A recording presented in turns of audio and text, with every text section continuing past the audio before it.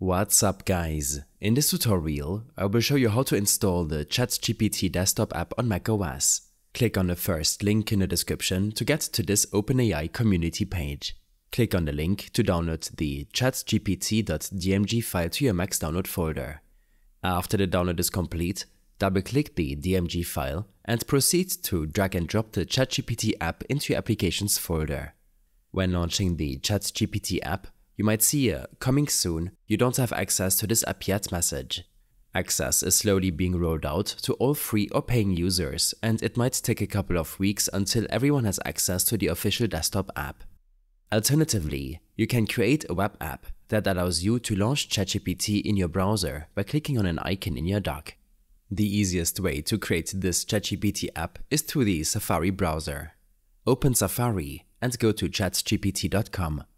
Once on the ChatGPT page, go to File, Add to Dock. Change the name to ChatGPT and click on Add. This simple trick instantly creates a new ChatGPT shortcut in your dock. If you prefer to access ChatGPT from your desktop rather than the dock, then ensure Safari is selected. Go to File, Save As. Rename the page source to ChatGPT and save the file to your Mac's desktop. The icon might not look like the original ChatGPT icon. There's a quick workaround to change the icon of a web app or page source file. Find the original ChatGPT icon online, for example at macosicons.com. Search for ChatGPT and download your preferred icon version. Once the file is downloaded, open Finder and go to the Recents or Downloads folder to locate the file.